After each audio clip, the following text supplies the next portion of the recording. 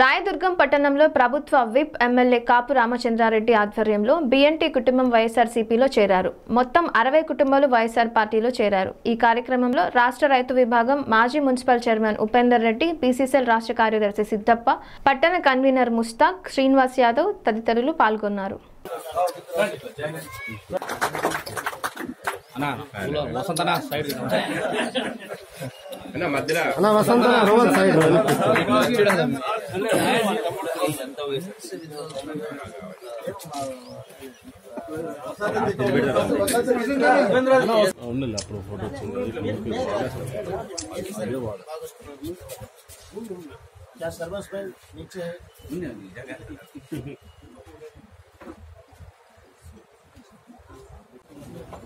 రాజకీయంగా రాజధాని పెట్టినాడు ఫస్ట్ వచ్చింది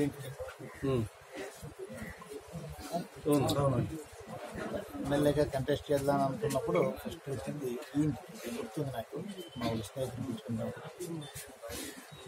ఈరోజు జగన్మోహన్ రెడ్డి గారు ఏదైతే ప్రత్యేకించి బీసీలకు ఎన్నో రకాలటువంటి సంక్షేమ పథకాలని అందించడం జరిగింది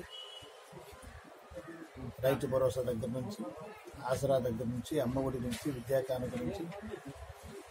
మళ్ళీ ఈరోజు యాభై ఆరు కార్పొరేషన్లు ప్రత్యేకంగా బీసీల కోసం నూట ముప్పై తొమ్మిది కులాలను కలిపి యాభై ఆరు కార్పొరేషన్లు పెట్టి డైరెక్టర్లతో పాటు ఏడు వందల ఇరవై ఎనిమిది